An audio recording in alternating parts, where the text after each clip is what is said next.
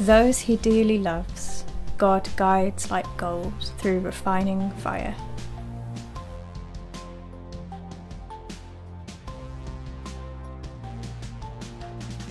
He holds us as we pass through the flames.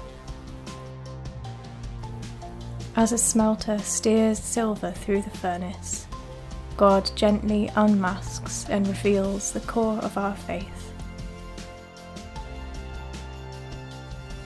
Like precious metal made pure, he refines his creation to become more like their creator.